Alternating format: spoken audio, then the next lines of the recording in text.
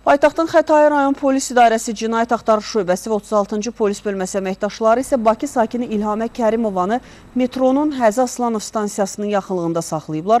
Onun üzərinə baxış zamanı ümumi çəkisi 333 tam 1296 qram olan tiryək aşkar edilərək götürülüb.